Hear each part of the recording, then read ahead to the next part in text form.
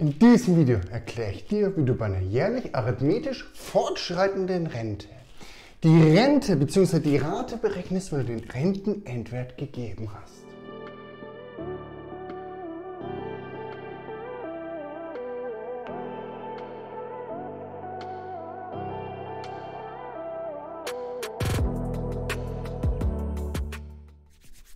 Moin Moin zusammen, wir haben wieder was Geiles heute vor.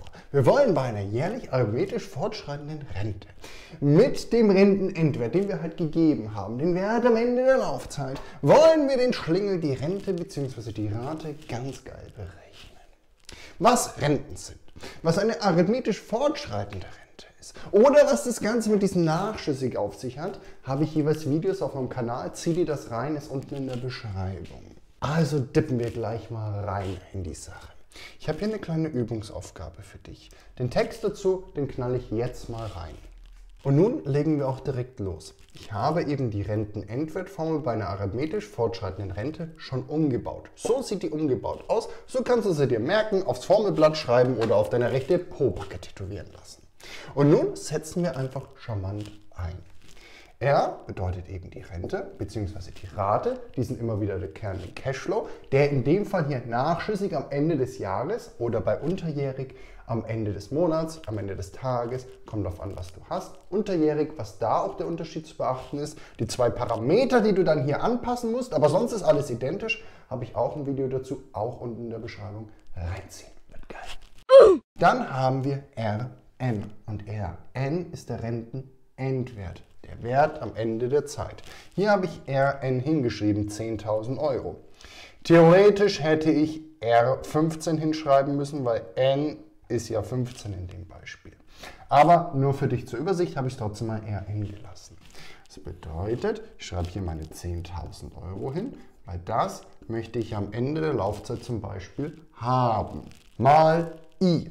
Und i ist mein Zinssatz. Aber wichtig, weil wir jährlich sind, per Anno der Zinssatz und das Ganze auch als Dezimalzahl reingeschrieben, also 0,045 plus d. Und d, darum sind wir hier, wegen dem Schlingel, den wollen wir heute klären. Der ist dieses arithmetisch. Und arithmetisch ist konstanter Anstieg in Euro. Andi, was bedeutet das auf Deutsch? Es geht einfach darum, dass du jedes Jahr eine Rente einzahlst die du noch nicht kennst, mit der startest du.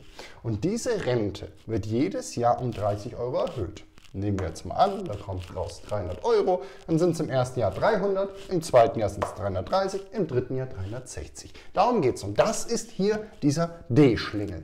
Und dieser D-Schlingel, den baller ich jetzt halt hier rein und das ist mit 30 angegeben. Ich bin bereit, meine Rente, meine Rate jedes Jahr um 30 Euro zu erhöhen, um einen festen Betrag, um eine Konstante mal n. Und n, habe ich schon gesagt, sind die 15 Jahre, weil wir 15 Jahre lang eben diese Rente an uns haften haben. Q hoch n, unten im Bruch. Q wird als Zinsfaktor bezeichnet. Und dieser Zinsfaktor errechnet sich mit 1 plus i. Und du merkst schon, ich hätte auch hier einfach hinschreiben können, 1 plus i hoch n. Und das in Klammern natürlich. Gibt es auch die Schreibweise, aber ich habe das jetzt zusammengepackt, weil die in den Büchern sehr geläufig ist. Deswegen habe ich auch die hier jetzt gerade verwendet. Also Zinsfaktor, nur eine Art kleine Zusammenfassung, Schreibweise, damit ich nicht immer 1 plus i schreibe, sondern einfach jetzt in dem Fall hier q, spart Zeit, Geld und Nerven. Also muss ich mir q kurz nochmal ausrechnen. q ist ja 1 plus i und mein Zinssatz ist 0,045 in Dezimalzahlen. Heißt, mein Zinsfaktor ist 1,045. 4, 5. Und den kann ich halt jetzt die ganze Zeit verwenden, statt immer das hinzuschreiben, wenn da Q steht. 1,045. Das Ganze wieder hoch n. Wir sind hier bei Jahre, haben wir schon geklärt. 15 und das minus 1. Sehr schön. Dann ist es der erste Bruch geklärt. Und dann kommt noch minus D wieder, yeah, unser konstanter Cashflow, in dem Fall 30 Euro. Und das Ganze nochmal durch meinen Zinssatz in Dezimalzahlen 0,045. Und wenn ich das sauber in meinen Taschenrechner eingebe, komme ich auf eine Rente von 295,61 Euro. Das wäre in dem Beispiel jetzt die erste Rente, die erste Rate, die ich zum Beispiel auf mein Bankkonto einzahle, damit, wenn ich diese Rate oder Rente jedes Jahr um 30 Euro fest erhöhe, das Ganze zu 4,5% Zinsen per Anno eben verzinst wird und ich das 15 Jahre lang mache. Wenn ich diesen Betrag einzahle und damit anfange, komme ich zum Schluss eben auf meinen Endwert von 10.000 Euro. Und das weiß ich jetzt halt nun. Ich habe hier noch für dich diese kleine Pobacke, diese Übung. Die habe ich für dich hier rausgesucht. RN, du möchtest bei 9000 Euro rauskommen, hast 3% Zinsen, du erhöhst jährlich um 100 Euro und das Ganze geht für 10 Jahre. Da kommst du dann, probier es aus, üben macht hübsch, halt kurz das Video an, Lösung kommt jetzt. 359 Euro und 42 Cent.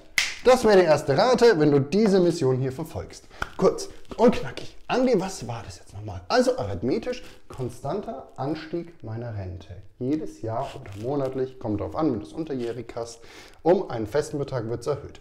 Ich möchte hier gerade die Rente, also den ersten Cashflow, den ich konstant einzahle und der dann immer eben wieder erhöht wird. Meine Rentenbasis sozusagen. Was mache ich also? Ich rechne mir erstmal kurz Q aus, setze dann alles sauber in meine Formel ein, rechne aus und habe Spaß. Falls du es jetzt verstanden hast, würde ich mich riesig über einen Daumen nach oben freuen. Ein Abo ist nur ein kleiner Klick und unterstützt mich riesig. Und ansonsten sehen wir uns in der nächsten Runde. Mach's gut.